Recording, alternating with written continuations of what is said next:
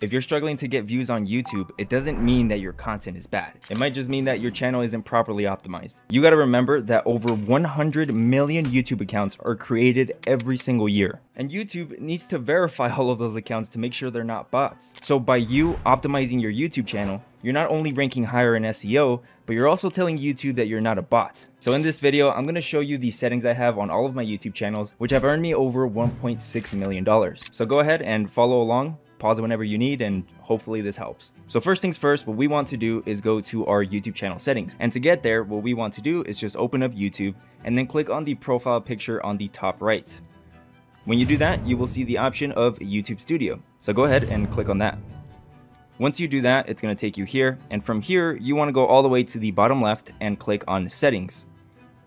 And this is where it all starts. So for general, we're gonna leave that there, okay? If you use pesos, whatever type of currency you use, you can you can change that here. I mean, that one's irrelevant. So since we're gonna ignore this one, we're just gonna go ahead and click on channel. First thing, country of residence and what should you change this to? I get this question all of the time. It doesn't matter where you're from. It doesn't matter where your country of residence is. Okay, if you live in Morocco and you want to target an American audience, all you have to do is make American based content. YouTube is going to know exactly who to recommend your videos to. So if you live in fucking China and you post videos about Kim Kardashian, the majority of your viewers are going to be American. So don't worry. Again, you can put United States or you can put your real country of residence. At the end of the day, it doesn't matter. Now the next thing we have is keywords. Keywords are important and a lot of people say it's not. There's a lot of gurus out here that say that keywords do not matter. Fuck you. That's not true. They absolutely 100% do. If it didn't, YouTube wouldn't have this option. And also, if you're a small channel, you're barely starting off, you do not have the luxury to skip this step. You want to add everything you could possibly add to your videos in order to get it pushed. Use every tool that YouTube gives you, and the channel keywords is just one of them. So let's go ahead and say that I want to start a YouTube channel and do movie recaps. I'm not gonna go to my keywords and start typing in Mr. Beast, Kai Cenat, funny moments, Shit like that, you don't do. You want to be as specific as you possibly can, okay? Every single tag has to match what your niche is or what your content is about. So if I'm in the movie recaps, I want to type in shit like movie recaps, movies, best movies, movie summary. Now, is there an easier way to get keywords for your YouTube channel? Yes. There's two different ways to do this. Number one, you can go on ChatGPT and be like, hey, I'm starting a YouTube channel in this niche. Give me some keywords for, for my channel and that's it. Do I recommend that? No. The way I approach YouTube automation or just YouTube in general is to mimic my competitors. And one way to mimic your competitors is using vidIQ. Now don't worry, I'm not plugging anything. You don't have to spend any money for this. This is free, the free version of vidIQ. You just need to download the, the Chrome extension. The link for vidIQ is gonna be down in the description. Again, this is free. Um, you don't need the paid version for this to, to see channel tags. So let's go ahead and open a new tab and I'm gonna search for movie recaps. Here's one of my competitors, DITI Recap. I don't know if that's how you say it. But all I have to do is click on his video. You see that on the right side, the vidIQ extension shows me a bunch of information.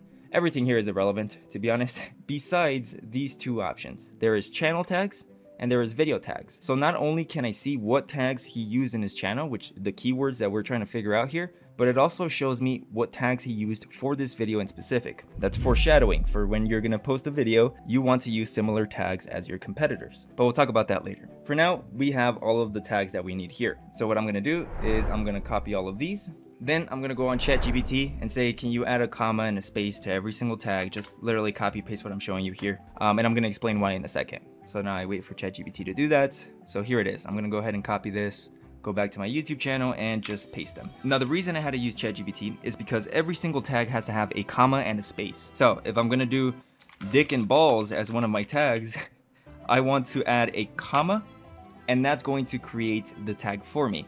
So if I want to add balls and dick now, um, I have to add a comma and that makes its own tag, okay? It's not like Instagram where you have to add an actual hashtag and be like cock and balls that doesn't work because now there's this little annoying fucking icon here, right? You don't have to add that. With YouTube, you just type it normally. You can even add spaces, all right? Um, point is, you want to fill these up all the way. So I only have 278 characters out of 500. So something else I can do is just go back to YouTube, find another one of my competitors, and take his channel tags, put them on mine. So you can go ahead and do that. So moving on, the next thing we're gonna do is go to advanced settings. Here, we wanna select on no, set this channel as not made for kids. So you wanna make sure that that is selected, okay? And there's multiple reasons for this. Now the reason we wanna select on no is so we can get the best possible ads. If you go ahead and click yes, this content is made for kids, you're not gonna be recommended to a lot of adults. And what do adults have on, on YouTube? High RPMs. Not only high RPMs, but it might not be the content you do. That's just one of the examples of why it's a terrible idea. Point is, you just want to click on no, okay? That way it's recommended to absolutely everyone. And very quickly, I'm going to scroll all the way down. You can see I don't have anything selected besides allowing people to clip my content. Everything else, I leave unchecked. Now, feature eligibility, in my opinion, is the most important setting, uh, at least when you're starting off. You want to go ahead and verify every single thing here, okay? You can either verify with a phone number, you can verify with an ID, you can verify with your face, but you wanna go ahead and enable all of the features because this is going to guarantee, this is going to tell YouTube, hey bro, you have my ID, you have my phone number, you have my face, I'm a real human, you can recommend my content, okay? So you need to do this. Just select each one and follow the steps, okay? Moving on to the next setting, we have upload defaults. Here, I like to leave the title and the description blank. But if you're doing like personality or you're doing vlogs or you have something you want to link, might as well just link it here, right? So what this does is that every single time you post a video or you unlist a video, it's going to have that link already pre-done for you. So you don't have to be copy pasting it or writing the entire description again if it's going to be repeated or if it's going to be a link. I like to keep that shit blank. I don't really care. Now for visibility, I leave this on unlisted. And the reason for that is because if I change this to public, every single time I drag and drop a video on YouTube to post, it's immediately going to go public. And I like to take my time when I'm posting videos, so I always leave this on unlisted. For tags, I like to leave that blank, and the reason for that is because I like to approach every single video as something new. I don't want to be reusing tags over and over. I like to try every combination I possibly can. So anyways, that's it with that. We're going to move on to advanced settings. For advanced settings, you want to leave the license as standard YouTube license. Don't ask any questions, just do it. and for category, it just depends what niche you're in. So if you're going to post history videos, you want to switch this to education. If you're gonna post videos about car manufacturing, you're gonna switch this to cars and vehicles. Language and caption certifications, I always leave this blank, I never touch it. Comments are on, moderation is basic, and I have this option at the bottom checked. Now, if you're monetized, you're going to see this section that says ad categories. And very quickly, even if you're not monetized, you want to watch this part. Because what you want to do here is unblock all of the ones that are unblocked. By default, I believe gambling and alcohol ads are blocked. So you want to go into sensitive categories, find them, and instead of saying block, it's going to say unblock. So click on that. Now, of course, we're doing that for RPM reasons. But if you genuinely don't want alcohol or gambling ads on your videos, you can leave them blocked. Besides unblocking that, I don't really do anything else on ad categories. Moving on to community moderation. Here I have everything blank. I don't know why these guys are banned, but if you see yourself here, it's your fault, bro. You did something.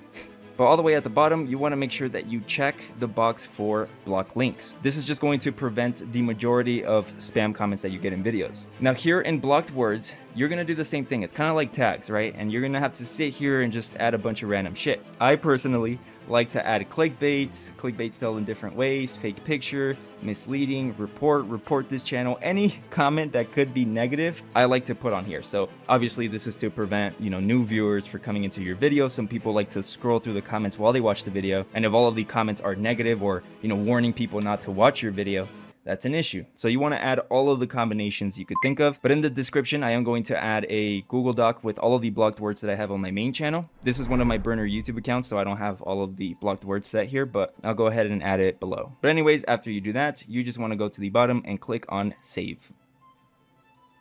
And you're done.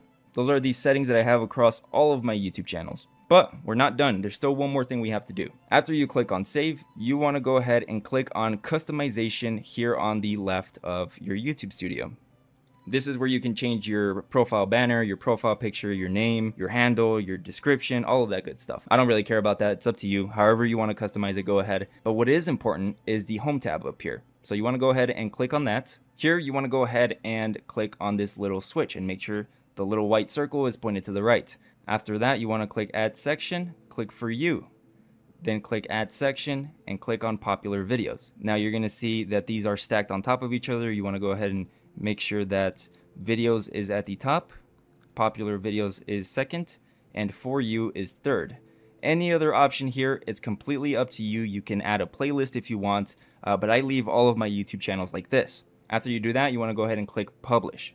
Now let me show you what this does. So when people go to my YouTube channel, the first thing they're going to see, the first line, is my most recent uploads. Under that, they're going to see my most popular videos, and then under that, they're going to see videos recommended specifically to them. This is the best strategy that I've found to keep people on your YouTube channel and binge watching your content.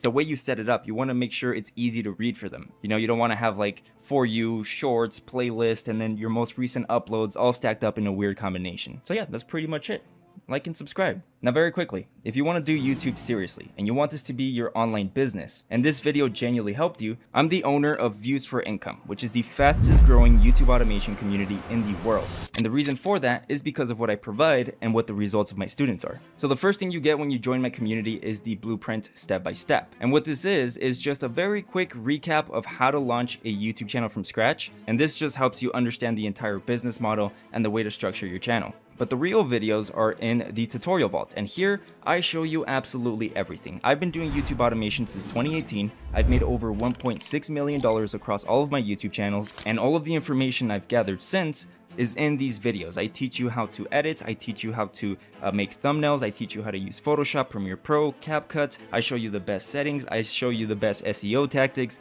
Literally everything that you need in order to launch any YouTube channel is here. And as you can tell, there's a shit ton of videos. Not only that, you also get pre-made thumbnail PNGs for you. So if there's a thumbnail you want to make, but you don't want to do all the annoying PNGs, I'll do it for you. You also get a list of handpicked niches that I chose. So this isn't going to be a huge list of 5,000 niches. This is just the best 20 niches that you can start right now. You also get access to an entire extension I created which shows you tags, helps you with SEO, and it writes an entire script in the click of a button. But that's not the best part. The best part in my opinion is that I go live two times every single week. And in these live calls, you can speak to me directly, you can ask me any questions, tell me to review your channels, and I'll do it. Again, this is two times every single week. Now very quickly, just to show you some of the results of students, uh, I'm gonna go to the wins tab and start with this first one by Calvin Yang two days ago. He made $5,000 in seven days. He posted seven videos and with seven videos, he made $4,822. We also have this member here who joined 37 days ago and he's already made $5,900. There's also members like Roman. He has a family, he works a job, and he went from absolute zero to $1,400 and in the first six days of April, he's already made over a thousand euros? Pounds? I don't know what sign that is, but And we also have members like Willie, who in the last 90 days has made $10,296. And those were just some of the most recent results. If you're ready to start taking YouTube seriously, then you can go ahead and click the link in the description or in the pinned comment. And if you do end up joining, I'll talk to you in one of the live calls.